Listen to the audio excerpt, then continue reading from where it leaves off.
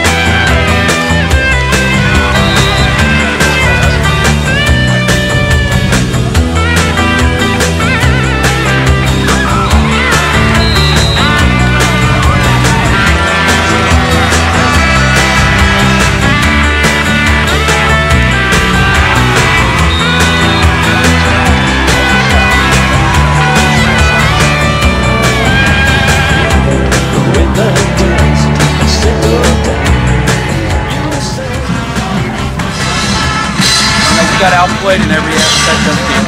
They were the better football team without question. I love you guys. I appreciate everything you've done. And you know, it was a great season. And have time to celebrate. It hurts a little bit tonight to know, but I'm proud of you. I know the coaching staff, I know people at school are proud of you for what we've accomplished this year. So thank you for all you did. So can see. Let's get a break on the two captains. Family on three, one, two, three. Family.